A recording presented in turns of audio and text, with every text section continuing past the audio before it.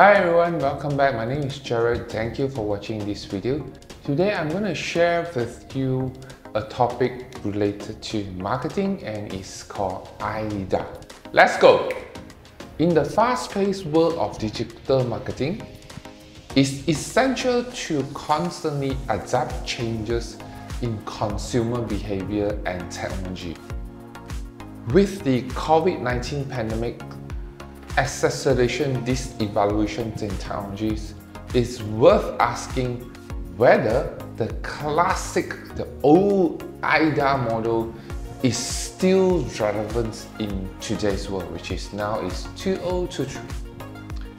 As I'm preparing a content regarding AIDA in social media marketing, training programs, I want to do more research and then simplified it for learner understanding and application.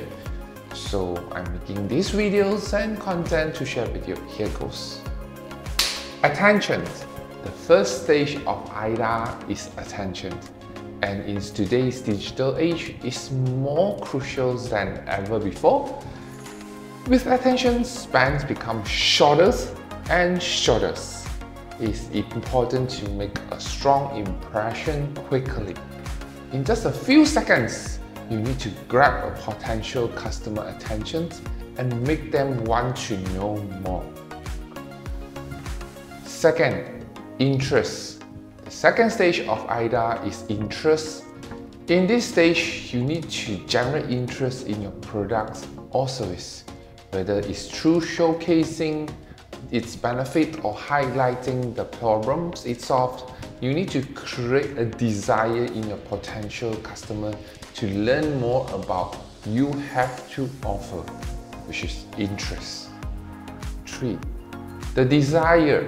The third stage is desire and it's where you need to turn that interest into a stronger desire to own the product or service.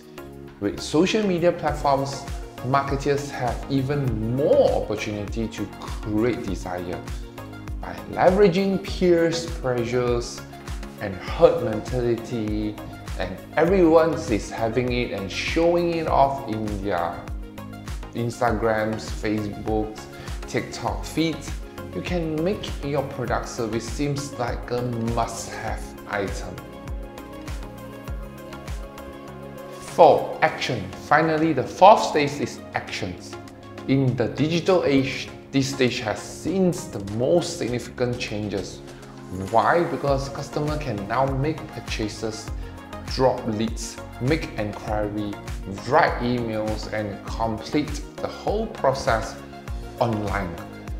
This has completely transformed consumers' behavior and created a new opportunity for marketers to reach and convert potential customers.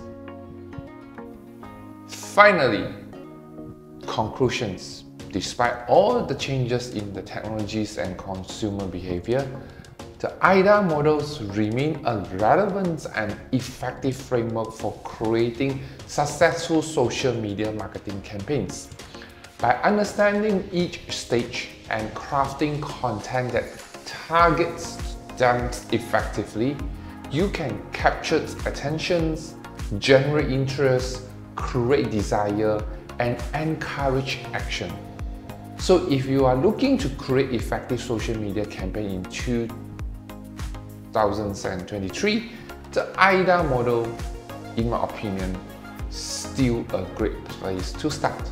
That's it for today. My name is Jarod. Thank you for watching We did this video. I look forward to see you in my next video. Bye!